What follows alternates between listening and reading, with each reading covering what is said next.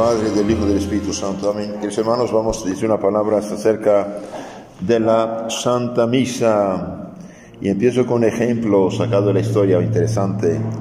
Santa Juana de Chantal, Santa Juana Francisca de Chantal, a la edad de cinco años, a la edad de cinco años, disputó con un calvinista, uno de esos protestantes de Calvino, que decía, no creáis que Jesucristo se halla en el sacramento. No, esto no, no, Jesucristo no es en el sacramento. Y la niña, la niña eh, contestó, Él lo ha dicho, Jesucristo ha dicho que estaba en el sacramento, este es mi cuerpo. ¿Cree usted que Jesucristo puede mentir? El otro no supo qué decir le dio un golpe a la cara. No creas que Jesucristo en la, Eucaristía. Bien, pero Jesucristo lo dijo, ese es mi cuerpo. ¿Puede mentir Jesucristo? No. Entonces, y toda la historia cristiana del siglo I al XXI siempre ha creído que el pan eucarístico consagrado en la misa es cuerpo, sangre, alma de Cristo en Oriente, en Occidente, en todos los países del mundo cristiano, del siglo I al XXI. Siempre ha creído esto. Tradición, transmisión de la fe. Y si no fuera esto, porque San Pablo dice que el que come y bebe el cuerpo del Señor indignamente, come y bebe su propia condenación. ¿Por qué? Significa que es algo más que esto. Y además todos los milagros eucarísticos que conocemos. Entonces, esta niña a los cinco años tapó la boca al hereje. El otro día dije a un protestante, usted dije, anda mal, anda en un camino que no es el de Cristo. ¿Cómo yo sigo a Jesucristo, Evangelio? Sí, pero Jesucristo dice, el que no come mi cuerpo, no vive mi sangre, tiene vida eterna. Usted no tiene sacerdocio, no tiene misa, no tiene cuerpo de Cristo y saque la conclusión, no tiene vida eterna.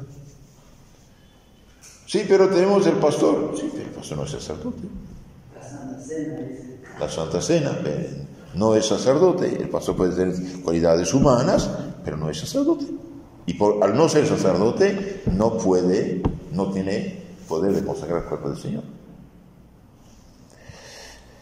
Hace poco también leí que un, eh, un negociante protestante, enfermo, llamó al pastor, dijo, pastor, soy un grande pecador, pequé y el otro dice, Jesucristo te ha perdonado. Sí, dice, pero yo quiero que usted me perdone en nombre de Jesucristo. Pues Jesucristo dio a los apóstoles el poder perdonar. Entonces, usted lo representa, y que este poder pasó recibe el Espíritu Santo a quienes perdonan los pecados, quedan perdonados. Y a quienes tengan detenidos, ¿por qué no me perdonan sus pecados? Si no, puedo, dice, no tengo este poder. Entonces llamamos sacerdote católico. Ya soy de católico, padre, yo pequé, quiero perdonar los pecados, claro que sí, pero eres protestante, ¿qué debo hacer? Hacerte católico, pues con mucho gusto. Entonces lo, lo instruye y lo confiesa, le perdona sus pecados y muere en paz y tranquilidad. Entonces los sacramentos es algo, algo importante y el sacramento por excelencia es la, la Santa Misa.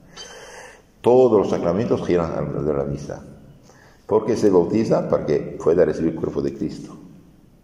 Porque se confirma para que se defienda del mal y pueda recibir el cuerpo de Cristo. Porque se confiesa para que la alma sea digna de recibir el cuerpo de Cristo. Porque se hace el sacerdote para poder consagrar el cuerpo de Cristo. Y porque el matrimonio y para que haya gente que pueda recibir el cuerpo de Cristo. Todo es alrededor, gira alrededor de Cristo. Eso es el centro, es el centro. Por eso, por el demonio Lutero dijo, destruir la misa, destruir la iglesia. Tenía razón, destruir la misa, atacar el corazón, el corazón. El San Eduardo, rey de Inglaterra, vio en la hostia al niño Jesús con rostro sonriente, rodeado del esplendor celestial. Fue el premio de una fe viva y ardiente amor a Jesucristo. No es necesario pedir esto, no pedirlo pero a veces Dios da. Una vez eh, hubo un milagro eucarístico en París, toda la gente fue a ver el milagro, el rey San Luis no fue. Majestad, no vas. No, no voy, yo creo. ¿Para qué voy? Yo creo. San Juan Bosco solía decir, si queréis gracias abundantes, visitad con frecuencia a Jesús sacramentado. Si queréis gracias abundantes, visitad con frecuencia a Jesús sacramentado. Si queréis pocas, visitadle poco, pocas veces. Si no queréis ninguna gracia de Cristo, no vayáis jamás a visitarle. Entonces, en la medida que uno se acerca a nuestro Señor, más, más, eh, más recibe, más recibe. Grandes tristezas hallé en una tumba sin cruz, pero otras más grandes sé, la de un corazón sin fe, la de un templo sin Jesús es un poeta Lope de Vega que dice esto. Grandes tristezas hallé en una tumba sin cruz, pero otras más grandes sé, la de un corazón sin fe, la de un templo sin Jesús. Un día un pastor protestante visitaba iglesias antiguas, tenía a su hijito a su lado, Ustedes saben que los señores son muy filósofos, pregunta, pregunta, pregunta, ¿esto qué es? ¿Esto qué es? Y esta, esta grande mesa ahí de, piedra, ¿qué es? Es el altar. ¿Y qué es el altar? Eh, para hacer la misa. ¿Y qué es la misa? Va en la fe católica, el sacrificio de la cruz. Y esta caja arriba de, del altar, ¿qué es? Es el sagrario. ¿Y para qué sirve? Para poner ahí Jesús. Qué bueno, qué bueno. Esa lámpara, es lámpara que dice que Jesús está presente. Qué bueno, qué bueno salen del templo católico, va un protestante a un Pedro, papá, ¿y dónde está el altar? Eh, no, no tenemos. ¿Dónde está el sagrario? No tenemos. Vamos, Jesús no está aquí, dice. Vamos, Jesús no está aquí, pero tenía, tenía, tenía razón. ¿eh? Entonces, el, sacrificio de la misa, que los hermanos, ustedes lo saben ya, y el sacrificio de la cruz son un mismo sacrificio, no son dos sacrificios. Es el mismo sacrificio del Viernes Santo hecho presente con la misma eficacia nuestro provecho de otro modo. En la cruz se derramó la sangre de Cristo, ¿sí? No estábamos ahí. Y esta muerte de Cristo en la cruz mereció la salvación para todos los hombres. Pero hace falta aplicar esto a las almas mediante los sacramentos y hacerla presente para que nosotros saquemos provecho. Entonces, cuando usted está en la misa es como si estuviera delante de la cruz de Cristo el Viernes Santo al, lado de la Virgencita, de, de San Juan y de la Magdalena, ni más ni menos. La sangre de Cristo clama por nosotros. La sangre de Cristo en la misa, de un cierto modo, nos rocía. Si estamos en el buen camino, para protegernos, hacer avanzar. Si estamos en el mal, para jalarnos a la conversión. Por eso el que dice ya pequeño voy a misa, no rezo, está muy equivocado. Tiene que rezar y pedir y ir y suplicar para alcanzar la gracia de la conversión. Humanamente hablando, si uno está en pecado, no puede salir del pecado. Imposible. Hace falta una gracia de Dios, una ayuda de Dios que venga a mover la voluntad y llevarlo al, al confesionario para recibir la absolución de, sus, eh, de sus pecados. Una persona cae en un pozo profundo o se rompe la columna, no puede, no puede salir. Hace falta que grite socorro y después que cuando hacen bajar la cuerda, tiene el que colabore para amarrarse, para. ¿Cuántas veces la gracia llega? Dicen después, después, pero después no es mío.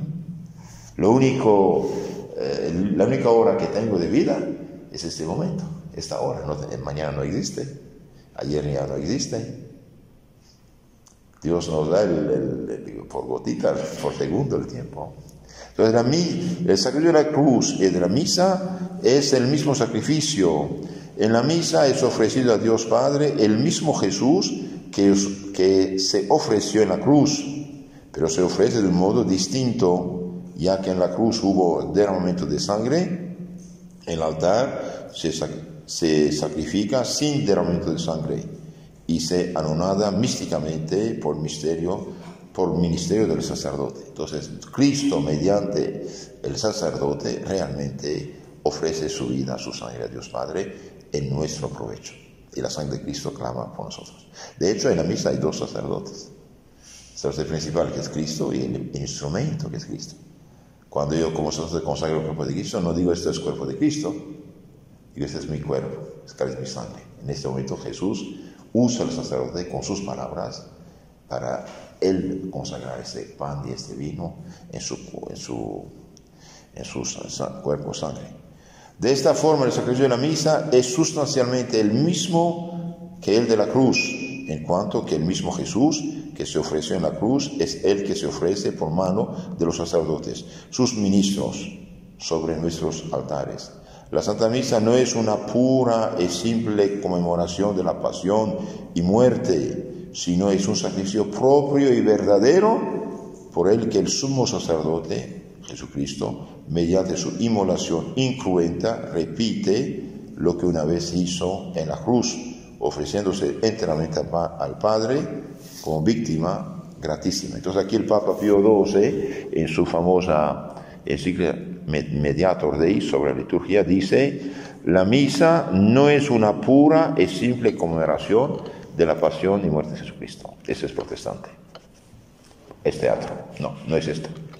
La misa, dice el Papa, es un verdadero y propio sacrificio por el que el sumo sacerdote mediante su inmolación incruenta, no sangrienta, repite lo que una vez hizo en la cruz, ofreciendo a Dios Padre. Entonces, una vez dio su vida, pero los frutos los derrama cada vez por nosotros. El.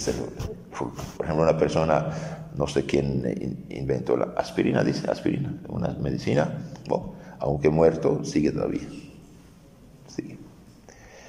Siendo el, sacrificio de la misa el mismo sacrificio del Calvario, sus fines son también idénticos. En la cruz se efectuó un sacrificio de alabanza a Dios, alabar a Dios. Del mismo modo, en la Santa Misa, los miembros se unen en sacrificio eucarístico de alabanza a su cabeza divina y con él, con los ángeles y los arcángeles, cantan a Dios perennes alabanzas dando al Padre Impotente todo honor y toda gloria. Eso también lo dice Pío XII en esa escritura Mediator de Entonces, es un cántico de, de alabanza.